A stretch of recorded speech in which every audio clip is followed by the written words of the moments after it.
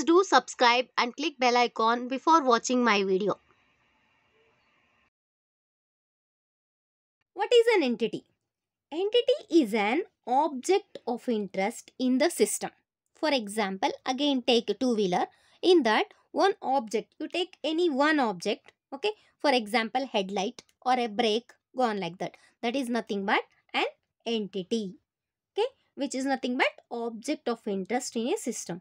Next, coming to attribute is a property of an entity. Suppose when you take a headlight, how it focuses light dim or bright go on like that. That is nothing but an attribute.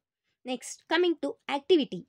Activity is nothing but it represents a time period of a specified length. Here they are considering the bank example for some time period considering from 9 to 10 activity whether the bank teller is busy or idle means doing some work or not.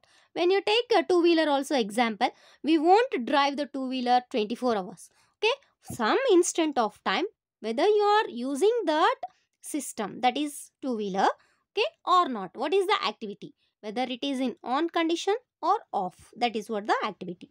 Next, coming to state. State is a system okay, defined to be that collection of variables necessary to describe the system at any time. That is relative of the objects of the study. For example, collection of a variables that is necessary to describe. For example, take again a two-wheeler. Okay, we are taking some of the collection of variables. The color of a bike. Okay, and uh, uh, which which uh, company of that bike. Go on like that. These are all some of the activity. That is state. Sorry, state. Next coming to event. Event under this again we are having endogenous event. Endogenous event is nothing but it is used to describe activities and events. Both already we have discussed, described the activity and an event. These two occurring within a system. Within, inside a system. What is an activity occurring within a system?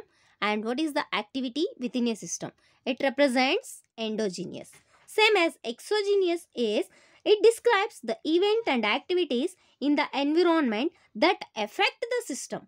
What are all the activities and events affecting the system environment is nothing but exogenous event. Like, comment and share my video. Thanks for watching.